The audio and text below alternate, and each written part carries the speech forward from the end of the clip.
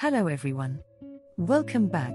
What are the new Alzheimer's drugs? What could this dementia drug mean for people with Alzheimer's disease? In our previous video, we briefly outlined the seven stages of Alzheimer's progression. With this knowledge, today we will explore the new drugs, FDA approved, Alzheimer's injections, designed to help patients in the early stages of the disease. One UK patient who participated in the drug trial of aducanumab in 2021 seemed happy with the results. However, these new drugs do not provide a cure, so they are not miracle drugs, but rather slow the progression to stages 6 or 7. For instance, instead of taking 10 years to progress from stage 4 to stage 7, with these drug treatments, it might take 13 years.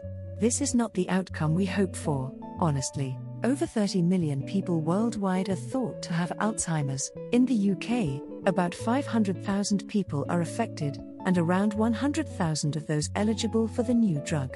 At an early stage of the disease, for aducanumab, will be mostly in their 60s or 70s. There are currently more than 125 drugs in clinical trials for treating Alzheimer's disease, but only two of them, donanemab and aducanumab, have been approved by US regulators as of today. Aducanumab, the first new treatment for Alzheimer's disease in 20 years, was approved by the FDA in the US in June 2021. This drug targets the underlying cause of Alzheimer's rather than its symptoms. The FDA noted substantial evidence that aducanumab reduces amyloid beta plaques in the brain, which is reasonably likely to predict important benefits to patients. A real life trial case involves Mr. Aldo Cerasa from Oxfordshire. He first noticed Alzheimer's problems, differentiating between left and right 10 years ago. After his diagnosis, the 68 year old had to give up his job as a surgeon. Mr. Cerasa took aducanumab for two years before the trial was halted,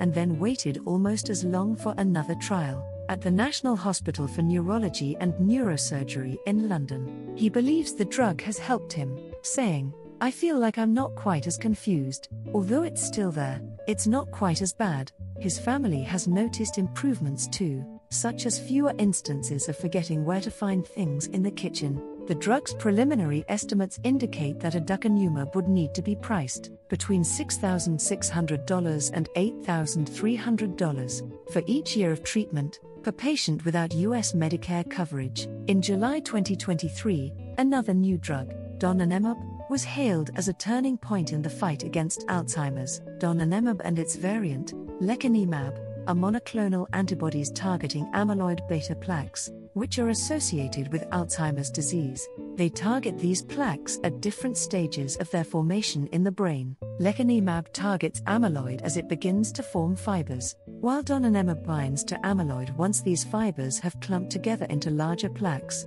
These differences could potentially influence the effectiveness of each drug at different stages of Alzheimer's disease. The full trial results of donanemab, revealed in 2023, suggest that it can slow the progression of Alzheimer's disease by more than 20%. The effects are believed to be greater in people at an earlier stage of the disease. However, it is important to note that side effects did occur, with serious side effects in only 1.6% of recipients. The cost of these drugs, a briefing paper for NHS England estimates, including administration, would be between 500 million and 1 billion per year. This is not the cost per individual but a total estimate for at least 100,000 people in the UK with a mild form of the disease who could be suitable for the drug if approved by the UK regulator. In summary, overall, there are two main issues with these new drugs. Firstly, the new Alzheimer's treatments are not aimed at curing the disease, but rather at slowing its progression by up to 27%. Secondly, these treatments are only effective for patients in the early stages, stages 1 to 4. They do not work for those in the late stages 6 or 7. The Alzheimer's injection treatment approved in 2023 was announced to reduce amyloid protein by more than 20% suggesting a 27% slowdown in the progression rate. This does not stop the disease's progression. For example, if it typically takes 10 years to progress from stage 4 to stage 6 of Alzheimer's dementia, this could be delayed by about 3 years, resulting in severe dementia after 13 years instead of 10.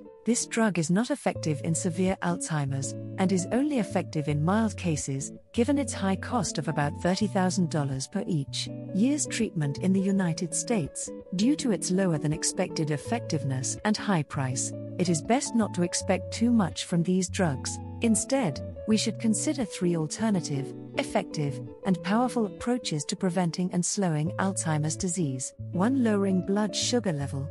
So, don't buy donuts, cookies, cakes, pastries, candies, eat plenty of vegetables, omega 3. 2. Maintaining good sleep habits to reduce the risk of developing Alzheimer's dementia. 3.